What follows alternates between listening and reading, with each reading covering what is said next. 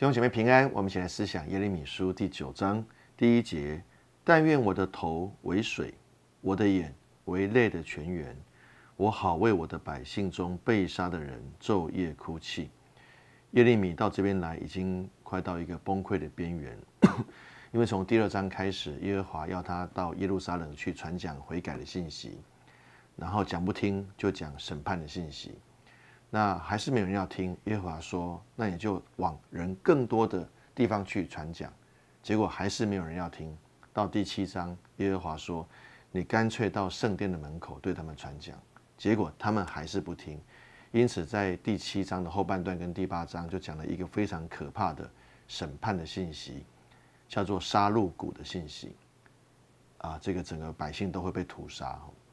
那到第九章，耶利米心里面非常的悲痛。他说：“但愿我的头为水，我的眼为泪的泉源。”什么意思？什么叫但愿？就是我眼泪已经哭干了，我没有眼泪可以哭了，所以我希望我的眼泪可以一直哭出来，因为我已经哭到干了哦。那我昼夜为他们哭泣，因为他们不听信息，他们要被灭亡。第二节又是一个唯愿，唯愿我在旷野有行路人住宿之处。使我可以离开我的民出去，因为他们都是行奸淫的，是行诡诈的一党。耶利米的心非常的矛盾和纠结，一方面为百姓难过悲伤，二方面又气很气他们，也不想跟他们在一起。所以他说，巴不得在旷野有那个旅行的人可以住宿的地方，好让我今现在就离开这个城市，离开我的百姓，我要往旷野去了，因为他们都是行奸淫的，代表他们跟偶像之间。啊，行奸淫，对耶和华不忠心，他们是行诡诈的，代表他们跟神口里说一套，真实的生活又是另外一套哦。因此呢，他也很想离开他们。第三节就换耶和华说话了，他们弯起舌头像弓一样，为要说谎话。他们在国中增长势力，不是为行诚实，乃是恶上加恶，并不认识我。这是耶和华说的。耶和华说呢，我了解你的心情，因为这些百姓充满了诡诈，充满了谎言。他们每次只要一开口，舌头一弯起来，准备要说话的时候，就像一把弓箭一样，要把所有的谎话、诡诈的话都发射出去。哈，这样的状况在整个犹大的国家中增长势力，全民都是说谎、诡诈的人，对神诡诈，然后呢，假先知也对百姓诡诈。说假的平安信息，这是整个上下交相贼的一个状况哦。第四节，你们个人当谨防邻舍，不可信靠弟兄，因为弟弟兄进行欺骗，邻舍都往来残谤人。他们个人欺哄邻舍，不说真话。他们叫舌头学习说谎，劳劳碌碌地作孽。你的住处在诡诈的人中，他们因行诡诈。不肯认识我，这是耶和华说的。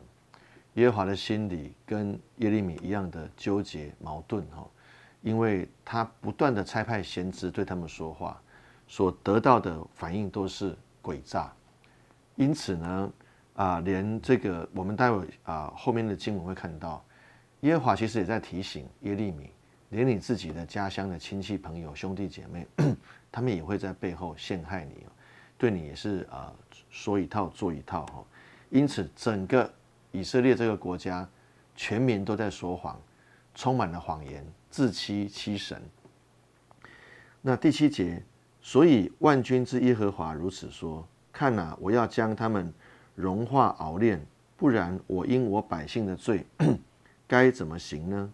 他们的舌头是毒箭，说话诡诈，心与邻舍口说和平的话。人与邻舍口说和平的话，心却谋害他。耶和华说：“ 我岂不因这些事讨他们的罪呢？岂不报复这样的国民呢？”耶和华的心情跟耶利米一样。他第七节说：“我的百姓一直犯罪，可是我还是要继续来融化熬炼他们，我还是希望继续可以炼尽他们。什么意思呢？融化熬炼，啊，就好像是要把。这个矿石里面的贵重的金属提炼出来，哈，上帝不断的管教他们，啊，也没有要放弃他们，可是他们终究不听管教的时候，最后这个管教也会变成可怕的审判。吼，耶和华说：“不然，我因我百姓的罪该怎么行呢？”耶和华所面对的百姓也是充满的诡诈的话。哦，那 第九节，耶和华说：“我也要因这样的事情讨伐他们的罪。”哦，很像耶利米说的：“我一直为他们难过流泪。”可是我又受不了他们，很想离开他们。耶和华是一样，耶和华不断的给他们机会，管教他们，希望他们可以知道痛，可以悔改。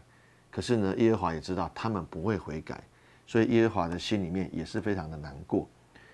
第十节，我要为山岭哭泣悲哀，因为旷野的草场扬声哀嚎，因为都已焦干，甚至无人经过。人也听不见牲畜鸣叫，空中的飞鸟和地上的野兽都已逃去。这边我们再次看见耶利米在悲叹、哈哀哭、哈。耶利米呢，他常常为他的百姓哀哭，因此他有一个称号叫做“流泪先知”耶利米。哈，他从呃第四章开始就为百姓心很疼痛，第八章、第九章不断的为百姓流泪。第十三章为百姓哭泣，十四章为百姓哀哭，十五章继续为百姓哭泣，十六章耶和华吩咐他不要再为他们哭了，因为他们讲不听，没有救了。耶利米从第十六章之后才停止为百姓的哀哭，但是心里面呢，其实一样认为他们继续悲伤。哈，第十节这边说，啊，耶利米看见审判来临的时候。以色列这个地方都要成为荒烟蔓草，一切都会成为焦土，一切都会荒芜，也没有牲畜，也没有飞鸟，也没有走兽，全部都逃光了，变成荒场。十一节，耶和华说：“我必使耶路撒冷变为乱堆，为野狗的住处；也必使犹大的城邑变为荒场，无人居住。”谁是智慧人，可以明白这件事呢？啊，在这个耶利米书里面所谓的智慧人，就是认识耶和华律法，而且行出耶和华律法，并且教导百姓耶和华律法的人。耶和华说：“谁是智慧人，可以明白这件事呢？没有人，因为整个国家都活在谎言里面，所有的先知、文士、祭司，都也都在过一种欺骗人、欺骗神、欺骗自己的生活。”呃，十二节我们继续看哈。谁是智慧人，可以明白这件事呢？耶和华的口向谁说过，使他可以转传说呢？啊，没有人可以传讲耶和华的信息。遍地为何灭亡？干焦好像旷野，甚至无人经过呢？耶和华说：因为这百姓离弃我，在他们面前所设立的律法没有遵行，也没有听从我的话，只随从自己顽梗的心行事。照他们列祖所教训的，随从众巴利。十五节，所以万军之耶和华以色列的神如此说：看哪，我必将阴沉给这百姓吃，又将苦胆水给他们喝。阴沉是一种植物，它的叶子很苦哦。那阴沉啊，苦胆水都代表说，上帝要把那个苦杯给悖逆这个啊，不听从上帝，只听从偶像魔鬼。的这些百姓，让他们自食恶果。十六节，我要把他们散在列邦中，耶华的审判使他们国破家亡，他们要被俘虏到外邦人之地，就是他们和他们列祖素不认识的外邦。我也要使刀剑追杀他们，直到将他们灭尽。就是连那些被掳的，神也要在外邦之地继续施行他的审判。十七节。万军之耶和华如此说：你们应当思想，将善唱哀歌的妇女招来，又打发人招善哭的妇女来。啊，擅长于唱哀歌的妇女，啊，这些指的就是在办丧事的时候，会请一些人来哭泣，哈，啊，来更多的表达啊悲哀。那耶和华说：你要去招聚这种啊哭泣的妇女来，因为。耶耶和华要灭亡整个耶路撒冷和犹大，十八节叫他们速速为我们举哀，使我们眼泪汪汪，使我们的眼皮涌出水来。啊，其实我觉得不仅是耶利米哀哭哈，其实耶利米书是透过描写耶利米哀哭，其实是在表达耶和华的心里面在哭泣哈。十九节，因为听见哀声出于西安，说我们怎么败落了？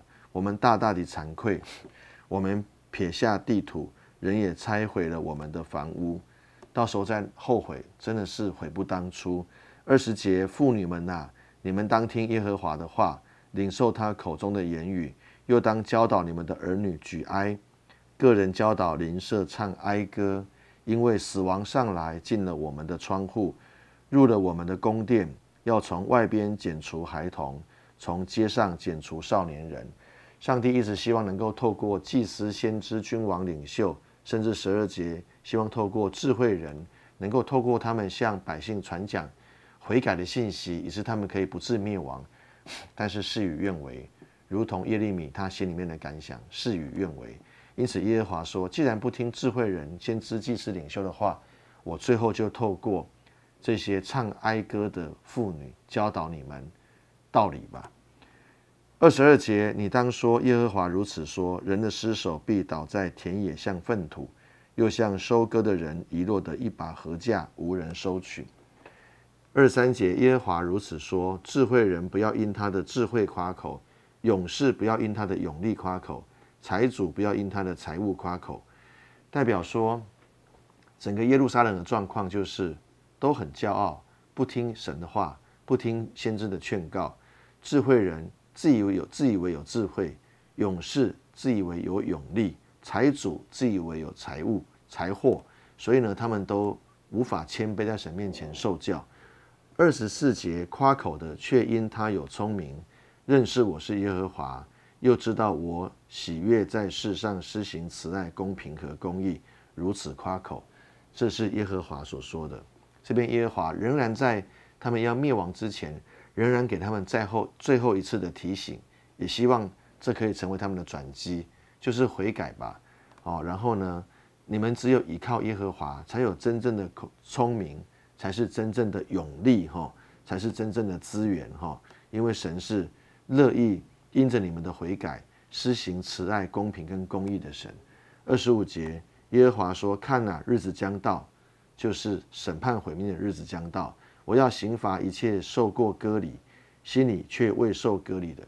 外面受割礼没有用，你的内心没有受割礼。割礼就是与神立约，哈，愿意遵行神的道路，哈，这叫这是行割礼的意义。那你只有外面受割礼，里面没有受割礼，这是枉然的。二十六节就是埃及、犹大、以东、亚门人、摩押人和一切住在旷野。剃周围头发的，因为列国人都没有受割礼，以色列人心中也没有受割礼。二十六节告诉我们说，在中东地区有很多的国家人，他们也都有这个行割礼的习惯，代表跟他们自己的啊神明或是宗教来立约哈。甚至有一些在旷野是啊周围剃头发一些的游牧民族啊，他们也是用这样的一种方式来表达他们的信仰的一个立约。但是呢，大家都怎么样？虚情假意，口里说的是一套，心里想的是另外一套。因此呢，这一些所有啊，外面有割礼，心里面却没有割礼的人，通通要面临公义上帝的审判，不容他们再行诡诈。我们一起来祷告，亲爱的主，是的，你要求我们的就是不是外面受割礼而已，而是心里面也要受割礼，不向你行诡诈，不用诡诈欺骗神，不用诡诈欺骗别人。也不用诡诈欺骗自己，更不用诡诈来互相取暖、宣啊散布假平安的消息。主啊，让我们真实回到你面前，因为唯有依靠你，才是真正的智慧与聪明。奉主耶稣的名祷告，阿门。愿神祝福大家。